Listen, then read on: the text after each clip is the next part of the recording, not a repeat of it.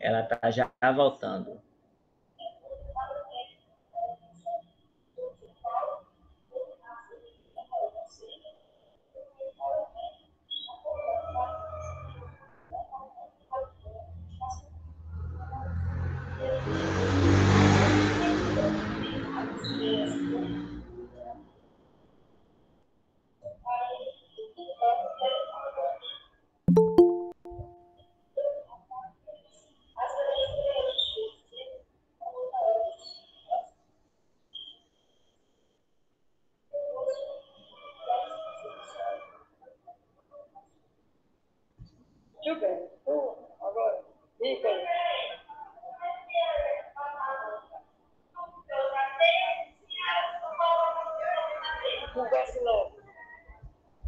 Pode começar, Patrícia.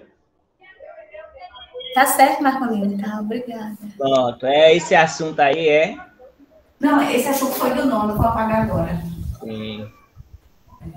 Só um instante, viu, pessoal? Vou apagar para a gente começar com vocês.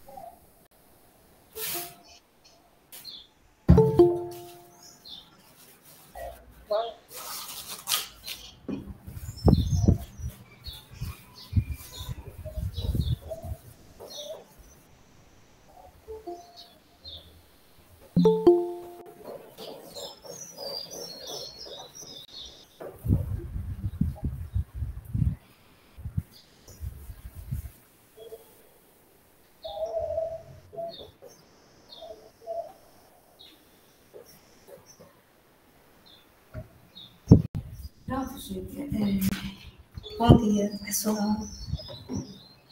A gente vai ver. Pode começar, viu? Tá certo. Tchau, boa aula. Tá, obrigada. Bom dia para todo mundo. Tchau. Bom dia, meninas. Bom dia. Bom dia. Vai, bom dia a todos. Só um instantinho, viu? Vamos ver aqui onde foi que a gente parou. Pronto. Regra de três simples.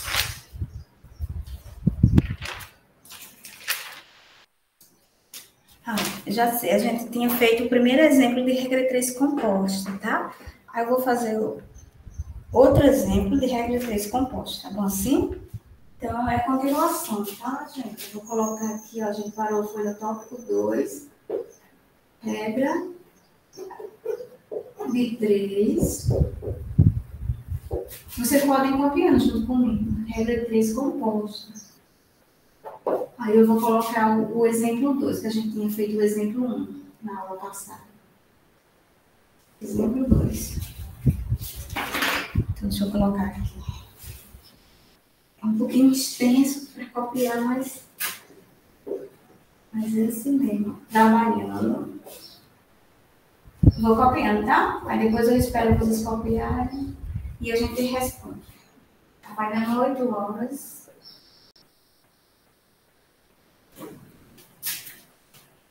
Por dia.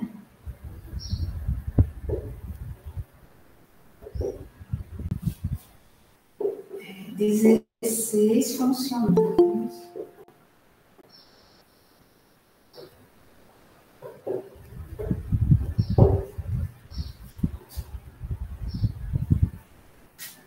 Com o mesmo ritmo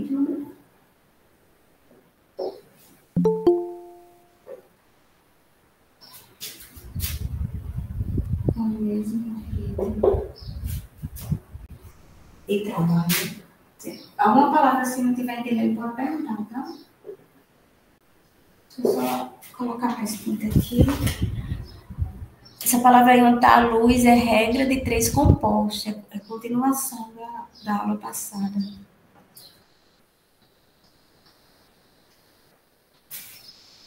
Vou colocar uma tinta aqui.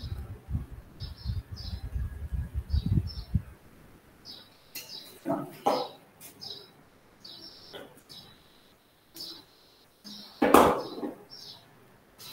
Vamos olhar aqui, ó, com o mesmo ritmo de trabalho. Descarregam. Des. Descarregam. 240 caixas. Ele vai botar um texto grande aqui, mas vocês vão ver que na hora da gente montar vai ficar mais simples. De caminhão.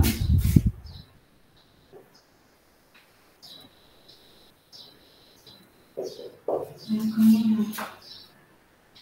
É, se trabalhassem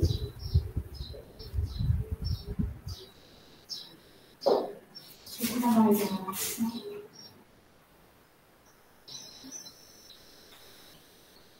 dez horas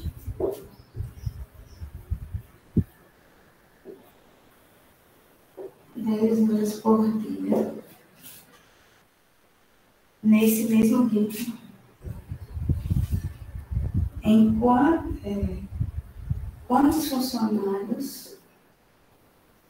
Já estou resumindo aqui porque tem mais texto viu? Quantos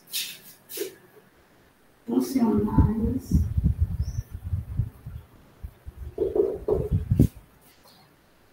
Seriam necessários. Necessários. Para descarregar.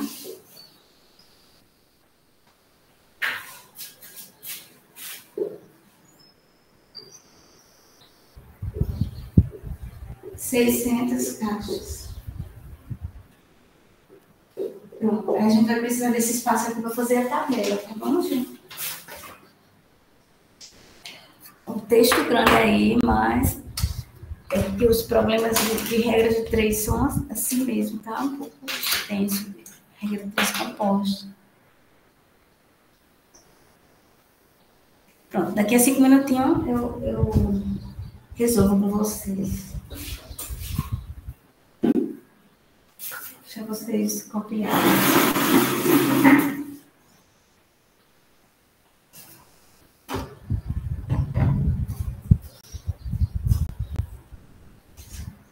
Dar uma olhada aqui enquanto vocês estão.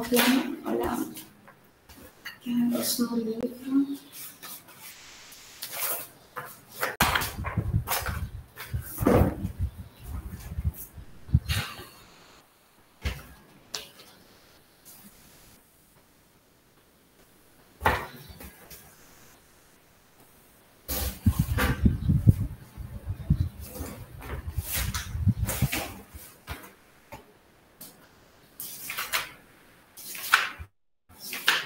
É, a finalizando o capítulo.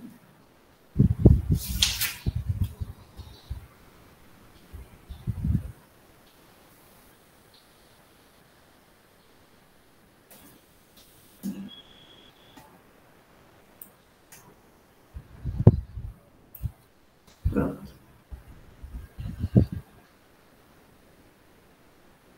Se tiver alguma palavra que não estiver entendendo, pode perguntar, viu, gente?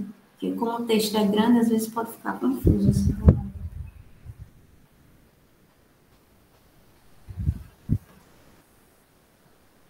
Terminei, professora. Terminou, Esther? Tá certo, Esther, muito bem. Deixa eu esperar mais uns quatro minutos, pessoal, viu?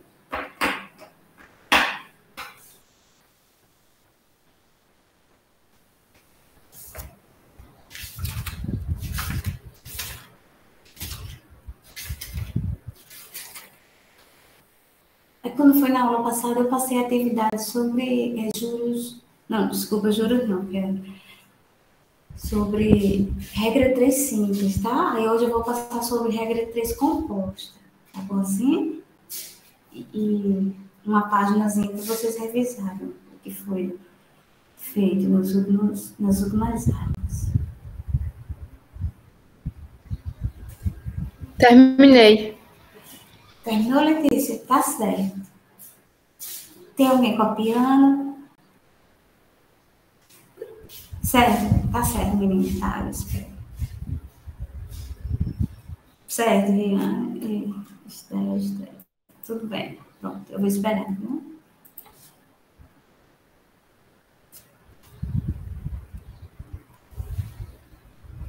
Saiu um pouco até inclinado. Tá bom, Maísa, obrigada. Eita, nem olhei aqui, que tá quase descarregando. Não, ainda tem.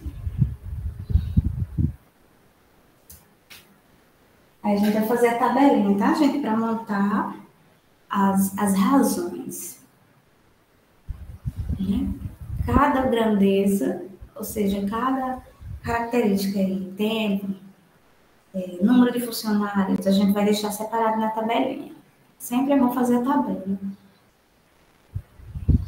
Aí, quando vocês estiverem mais prático na frente, pode fazer direto, mas é melhor aconselho fazer primeiro a tabela. Depois você faz a tabela, monta as razões, aí você começa o cálculo depois das razões, tá? Aí, como eu disse, na regra 3 simples, só tem três informações e ele pede uma. Na composta, não.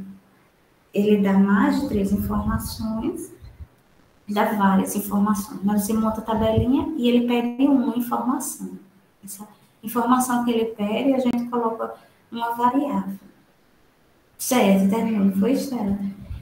E ele pede uma variável, que a gente chama de x ou qualquer letra do nosso alfabeto, tá? Sempre que a gente usa mais x, y e z. Você pode colocar qualquer letra do nosso alfabeto para representar esse nome desconhecido, a grandeza desconhecida, que a gente vai passar a conhecer. Tá? Então, eu vou ler aqui o problema para a gente montar a tabelinha bem direitinho, tá bom? Ó, ele diz assim, ó, exemplo 2. Trabalhando 8 horas por dia é, eu vou ler a primeira frase, tá? A gente vai fazer aos pouquinhos. 16 funcionários com o mesmo ritmo de trabalho descarregam 240 caixas no caminhão. Olha, gente, então a gente tem três grandezas diferentes. O tempo em horas, o número de funcionários, que são 16, e o número de caixas, né, que eles descarregam no caminhão, tá? Então, eu vou montar a tabelinha aqui, ó. É, vou botar assim, tempo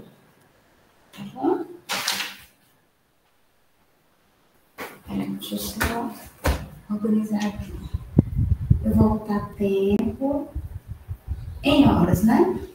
O tempo está em horas. Quantas horas? Oito horas. Aí eu já vou montando minha tabela. Aqui vai ser o número de funcionários. Número de funcionários.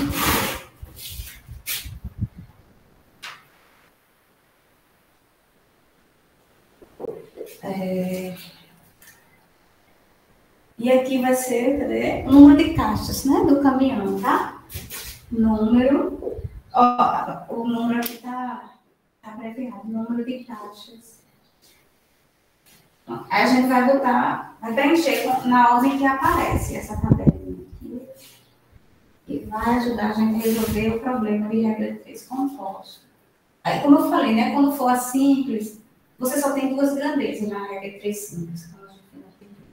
Aí eu comecei o exemplo com composto. Na composto você tem é, a partir de dois, é, a partir de três, uma, duas, três grandezas, né? Três grandezas. Pode até ter mais, mas a gente só vai trabalhar com três, que aí já é muita coisa. Oito horas, é, ele, a gente tem 16 funcionários que descarregam 240 240 tá? Vamos ver agora. Aí, ponto. Começa outra frase. Ó. Se trabalhassem 10 horas, olha, 10 horas, aumentou. Eu estou puxando a setinha para baixo para dizer que aumentou aqui, tá? Aqui aumentou a quantidade de horas. Né? Por dia, né? Quantos funcionários seriam necessários ele quer saber o número de funcionários. Como a gente não sabe, a gente representa por uma letra, X, tá? Ou qualquer outra letra, se você quiser. Para descarregar 600 caixas. Aumenta o número de caixas hoje. É, então, vamos analisar aqui. A gente tem que analisar. você faz o seguinte, a dica que eu dou é o seguinte, quando você tem a, a razão com a incógnita, ela não pode ser invertida. Você só vai inverter uma razão em matemática. Quando eu falo razão, é essa fração, tá? Essas são essas frações. Se uma grandeza aumentar e outra aumentar, não precisa inverter a grandeza. Se uma diminuir e outra diminuir ao mesmo tempo, não precisa inverter. Agora, se for uma grandeza aumenta e outra diminui, aí você precisa inverter a grandeza que fez a outra modificar. Se uma diminuir e outra aumenta, aí você tem que inverter essa grandeza, tá? Então a gente vai ter que ter cuidado com essa parte aqui. Tá bom? Então vamos lá. A gente vai ver qual vai ser a razão que vai ser invertida aqui, ó. Vamos analisar de duas em duas. Você não vai analisar tudo de uma vez, não, tá? Então, por exemplo, aqui, vamos logo analisar o tempo em horas com o número de funcionários. Ó. O tempo em horas, gente, eram 8 horas para descarregar 240 caixas e eram 16 funcionários. Se aumentou o tempo, certo? Então, é, vai aumentar o número de funcionários, tá bom? Se aumentou o tempo, vai aumentar o número de funcionários. Então, essas duas grandezas aqui, Veja bem, ó. eu estou analisando o tempo em horas com o número de funcionários.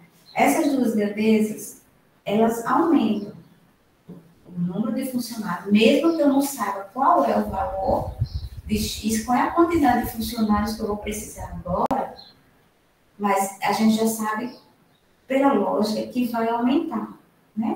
Já que vou ter mais tempo. Então, aqui aumenta. Então, a grandeza de tempo em horas com o número de funcionários, elas são diretamente proporcionais. Quando um aumenta, o outro aumenta. Então, não precisa inverter. Agora, eu vou fazer outra comparação, tá? A grandeza aqui, ó. Quando eu tenho, é, quando eu aumento o número de caixas, tá certo, gente? Para 600 caixas. Eu aumentei o número de caixas então, eu vou aumentar o número de. É, tá certa a palavra, aumenta. Se eu aumentei o número de caixas para 600, eu vou colocar aqui essa aqui, aumentei, né? Ou aumenta. Se eu vou ter mais caixa, eu vou precisar de mais funcionários. Tá bom? Porque concorda comigo que se tiver poucos funcionários e eu aumentei a quantidade de caixas, eu vou precisar de mais gente para trabalhar. Então, a grandeza, o número de caixa e o número de funcionários, elas são diretamente proporcionais. Tá? Agora, vamos analisar o tempo, porque geralmente o tempo é uma grandeza inversa. Certo? Agora, a gente vai voltar a analisar o tempo, mas agora com o número de caixas. Tá? Então, eu vou apagar aqui ó, o início da nossa análise. Essas duas aumentam. Agora, guarda aí esse essa é ideia, viu? Tem que ter cuidado só na interpretação aqui, porque eles confundem mesmo. Vocês estão vendo a primeira vez. Então, vamos lá. Se aumentou a quantidade de caixas e eu vou precisar de mais funcionários, certo, gente? Eu vou precisar de mais funcionários. Né? Então, aqui, o tempo aumentou mesmo que o tempo tenha aumentado, mas vocês vão ver que essa grandeza do tempo, se eu tenho mais funcionários, mesmo que tenha aumentado aqui, mas eles vão trabalhar em menos tempo. Então, a grandeza ser invertida vai ser o tempo. Certo?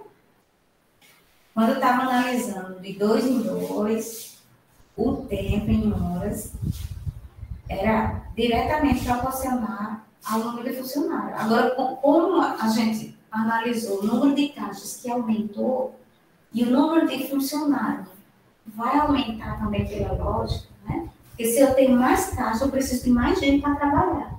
Então, como essas duas grandezas aumentam, aí agora sim a gente volta para o tempo aqui. O tempo em horas vai diminuir, tá bom? Ou seja, eu vou ter mais gente trabalhando, com maior quantidade de caixas, e, e o tempo, eles vão trabalhar mais rápido, então o tempo vai diminuir, tá? Mesmo que aqui tenha aumentado. Então, a grandeza ser invertida vai ser o tempo. Eu vou circular aqui, só para vocês verem que essa daqui é a grandeza ser invertida. Aí eu vou apagar aqui em cima para a gente fazer a conta, tá bom? Vocês já copiaram né, a pergunta e a gente vai fazer a conta da, dessa regra de três compostos. Aí quando eu acabar, eu vou só iniciar um, um assunto para a gente continuar na sexta.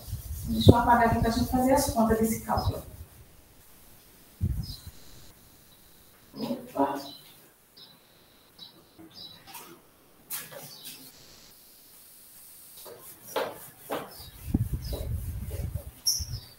Tem que apagar como se fosse, senão não sai, né? Parece que fica fixado mesmo aqui, ainda não.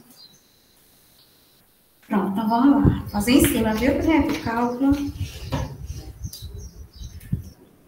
Então, veja bem, ó. Qual é a grandeza assim invertida? O tempo, tá bom? Então, você vai fazer o seguinte: depois de montar a sua tabelinha, você tem que analisar, interpretar isso bem direitinho. À medida que for praticando esse exercício, vai ficando melhor vocês entenderem essa parte aqui. A, a, a razão que tem a variável a ser descoberta, que é o x, a quantidade de funcionários, você deixa ela sozinha. Deixa antes da igualdade. As outras razões você multiplica.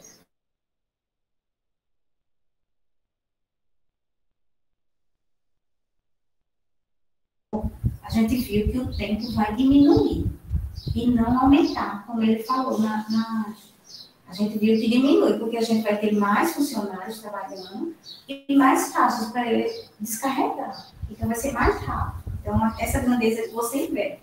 Em vez de ficar 8 sobre 10, vai ficar 10 sobre 8, tá? Invertiu aqui. Aí você vai multiplicar pela outra grandeza, que é 200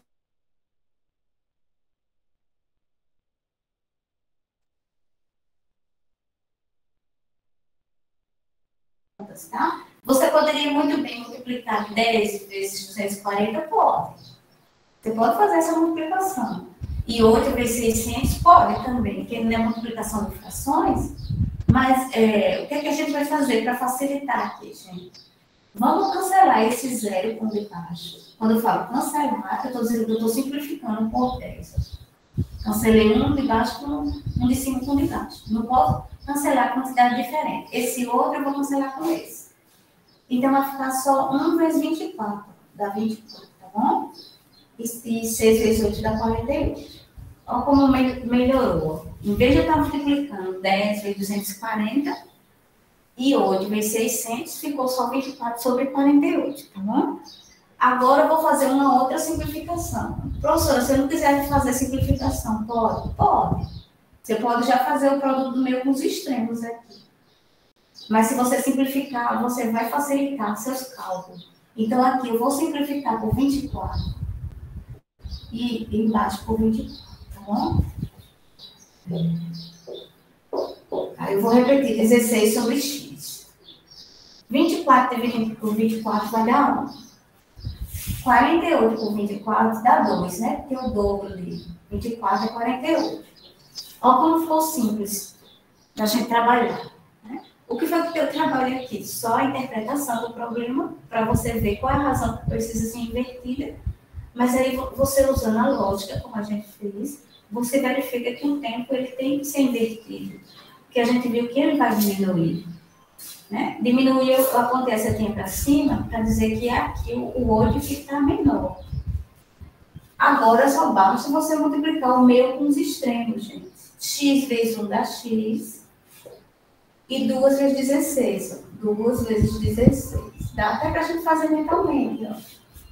Ó. O dobro de 16 é 32. Tá? Se não quiser fazer mentalmente, é só arrumar e efetuar. 32 dias. É. Quantos funcionários? Não, desculpa, 32 funcionários. Lá vai falando em dias. Ó, tá? Se eu não tivesse visto aqui ó, a pergunta, né? Quantos funcionários? 32 funcionários. Como é que eu sei que está certo? Não é o valor que você vai saber se está certo. É funcionar. Espera aí, viu, gente? Falando e escrevendo. Ali tem um M. Deixa eu ver aqui a palavra funcionar.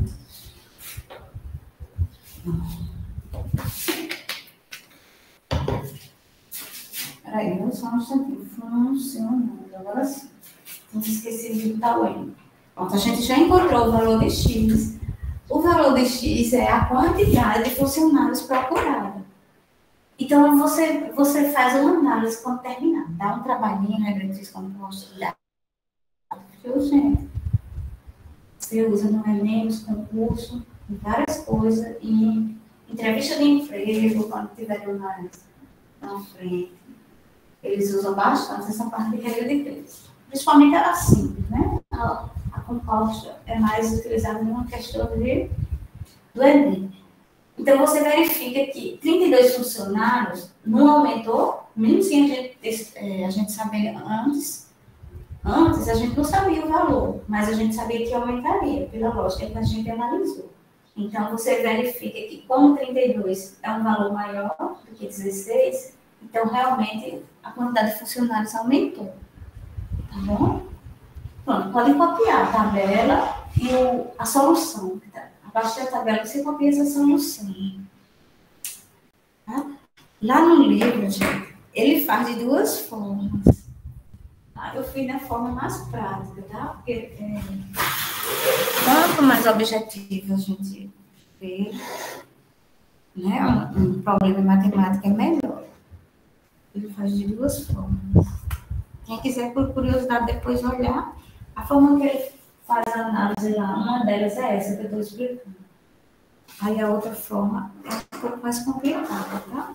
Pronto, aí podem copiar. Aí eu vou passar a atividade referente à regra 3 composta, é página 103. Pronto. Página 103. Tá? Não deixem de fazer não, para praticar isso aqui. Página 113 é a página de exercícios de casa, referente à regra 3 composta. Aí vão fazendo, e se tiver dúvida, vocês me perguntem na sexta-feira, tá? Não acumule não as, as dúvidas, nem qual número depois de, de 16 sobre x. É um meio, não está aparecendo não? É um meio, certo? Aqui é um sobre 2, ó. O número é 1 sobre 2. 16 sobre x é igual a 1 sobre 2. Pronto, aí a gente, na sexta-feira a gente vai entrar em um novo capítulo. Bom? Terminou, Patrícia? Terminei, Marcolino. Vamos dar. Todo mundo já terminou aí de copiar? Eu acho que tem alguns copiando. Certo. Tá certo, Esther. É.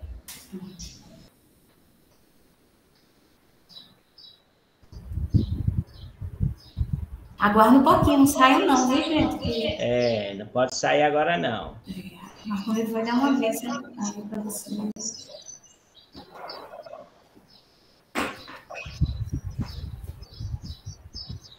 Pronto. Eles estudaram a regra de três, simples e composta, Marcolino. Ótimo. Pronto, era aquilo que o é, é, Esther Farias estava pedindo. Isso, era que ela estava perguntando. Que eu tinha explicado um pouquinho de porcentagem e agora eu concluí a parte. O próximo capítulo, gente, vai ser geometria, viu? Essa parte de álgebra, eles ficam revezando assim no, no, mas geometria. Voltar para os desenhos. Mas também é bem interessante.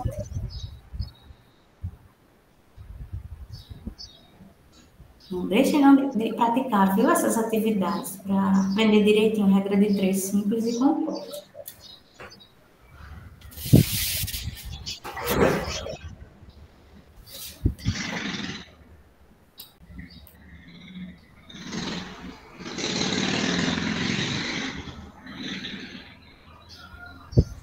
Esse é o último assim, assunto do capítulo, professora?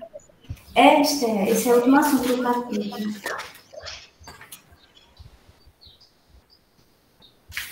É regra 3 composto. Depois Aí vai ele. para que, vai pra que capítulo agora, Patrícia? Agora eu vou pro, vou pro quarto, Marconildo. Certo. Aí esse quarto é, geome- é, geometria. Deixa eu só dar uma olhadinha aqui no negócio. que eu planejei aqui.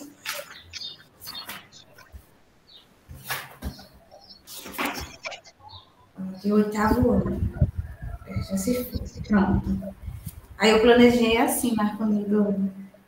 Em outubro eu vejo o capítulo 4 e 5. Aí o 6, é engraçado ver o livro, porque é interessante. O 4 e 5 são os capítulos bem extensos. Aí o 6 é um capítulo que a pessoa vê em uma metade de uma aula, que é. Então você adianta esse capítulo logo. Ele é, ele é, ele é, ele é assim. Ele não é muito usado, não, esse capítulo 6. É sobre o quê? Deixa eu te mostrar aqui. É o oitavo, né? Deixa eu ver se é o do oitavo, eu estou me confundindo. O 6.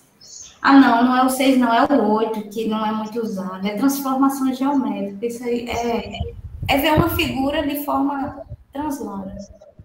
Esse, esse último capítulo aqui. É por isso que eu estou deixando ele por último mesmo, já que ele está. Certo. Certo? O 6 não, 6 é, eu vi agora. Aí você adianta aí que tem uns feriados, viu? Tem que ver aí bater, porque novembro, final de novembro é, é a finalização e pode terminar antes, viu? Certo, pode deixar comigo. Pronto, Aí a gente vai para o capítulo 4 e 5, é, aí 7, 6 e 7, em novembro. E o 8 é uma coisa bem rapidinha. Transformações geométricas. É só ver a figura de modo, é, de modo invertido. É por isso que está bem por último mesmo isso aqui. Porque quase não é usado. Mas vai completar, né? Certo, gente? Todo mundo terminou, todo mundo terminou, todo mundo terminou. Acho que sim, agora. Aí deixa eu ver qual é a próxima aula aqui, viu? Aí essas aqui vai ser sexto ano História, viu? Sexto ano e depois sétimo ano História. É, e depois sétimo ano Português. Aí primeiro é, é sexto ano História, depois do intervalo, 9h25. Tchau, pode sair. Fim, tchau, agora sim, tchau. Tá, tchau, gente. Até sexta. Boa, boa Até sexta, tchau. Tá, tchau. Próxima aula, viu, Esté, João? História, tchau. Sim, senhor. Tchau. Tchau, tchau vocês, tchau. tchau, Esther.